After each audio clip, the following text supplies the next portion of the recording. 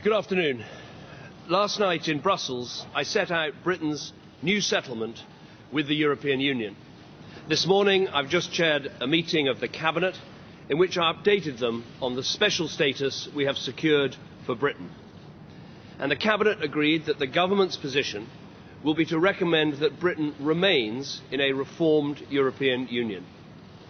Now I want to speak directly to the British people to explain why. We are approaching one of the biggest decisions this country will face in our lifetimes whether to remain in a reformed European Union or to leave.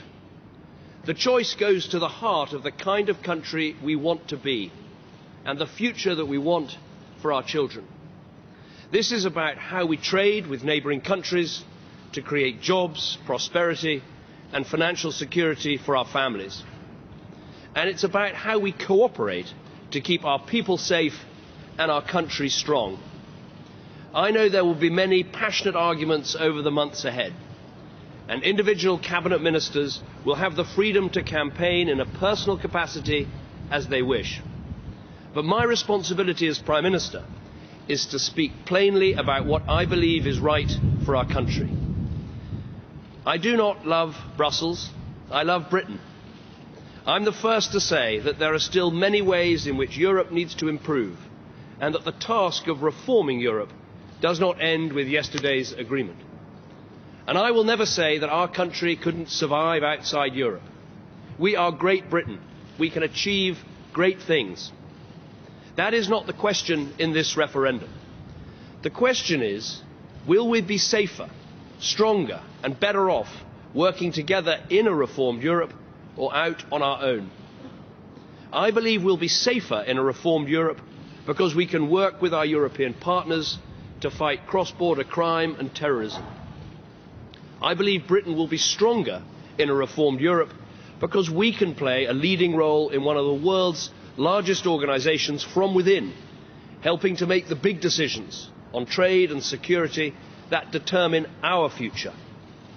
And I believe we'll be better off in a reformed Europe because British businesses will have full access to the free trade single market bringing jobs, investment and lower prices. Let me be clear. Leaving Europe would threaten our economic and our national security. Those who want to leave Europe cannot tell you if British businesses would be able to access Europe's free trade single market, or if working people's jobs are safe, or how much prices would rise. All they're offering is a risk at a time of uncertainty, a leap in the dark. Our plan for Europe gives us the best of both worlds. It underlines our special status, through which families across Britain get all the benefits of being in the European Union, including more jobs, lower prices and greater security. But our special status also means we're out of those parts of Europe that do not work for us. So we will never join the euro. We will never be part of Eurozone bailouts never be part of the passport-free, no borders area, or a European army, or an EU superstate.